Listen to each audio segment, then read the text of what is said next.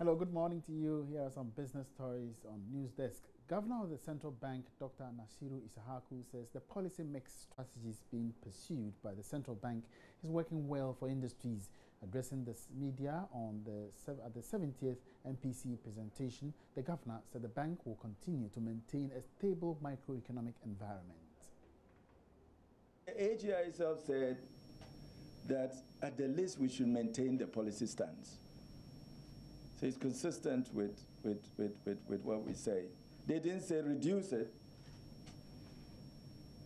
And if there's stability and businesses are beginning, is beginning to take up, you know what it means? I mean, we are doing something right. The policy mix that we are deploying now, it's working in some sense. But we are saying our primary responsibility is inflation.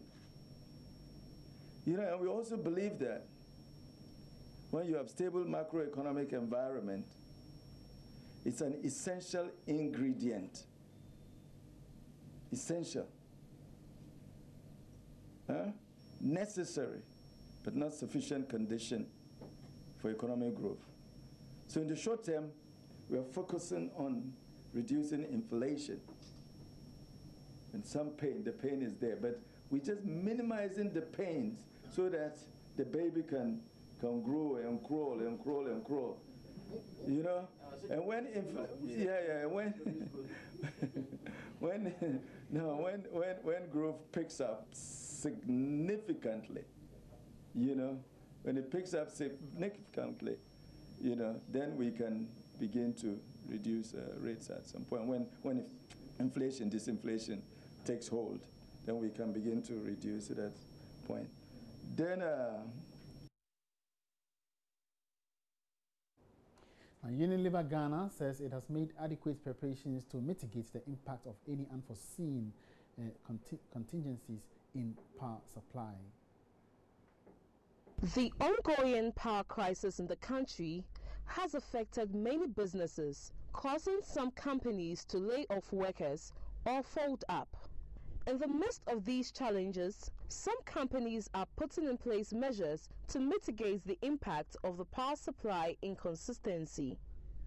Ghana's largest producer and retailer of consumer goods, Unilever Ghana, says it has made adequate preparations to offset the impact of the power crisis on their operations. As the company's annual general meeting held in Accra, Unilever Ghana's managing director, Meidi Akutu spoke to Joy Business. Actually, the change in strategy commenced in the middle of 2014. And if you look at it, by the end of 2014, we had turned all the negatives into a neutral, a flat bottom line. So we simply enhanced those strategies going into 2015. Um, specifically in relation to Dumsor, if you look at our quarter-on-quarter results, you see that in quarter one, in quarter one, that did impact the business quite significantly in terms of our ability to produce to meet our demand. However, we bought a new generator in April of last year, and that significantly helped to mitigate the effects of Dumsor on our production.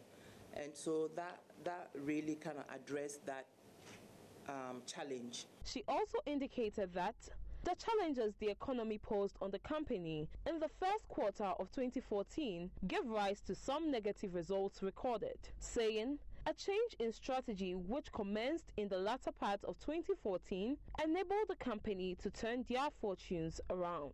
For Joy Business, Sarah Josu. That's more business news ahead in the midday news bulletin. Thanks for your company. My name is Emmanuel Abuaji Riafik. Thank you.